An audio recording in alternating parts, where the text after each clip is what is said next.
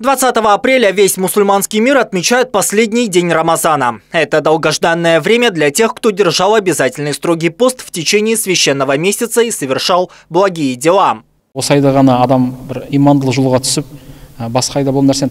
Человек должен совершенствоваться и меняться в лучшую сторону не только в священный месяц, а всегда. На этот счет есть утверждение. Если человек на протяжении 21 дня повторяет свои действия, то это входит в привычку. У Рамазана есть главная цель – воспитать человека. Несмотря на то, что месяц закончился, люди должны продолжать совершать добро.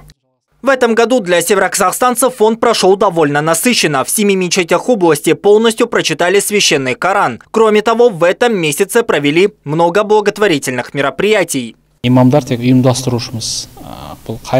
в этот священный месяц казахстанцы с благими намерениями сделали большое количество пожертвований. Нуждающимся мы раздали продукты питания и одежду, которые приносили добрые люди. В общей сложности мы помогли около 500 семьям по всей области. Помимо этого, представители других национальностей назначили дни и проводили аузашар в мечетях.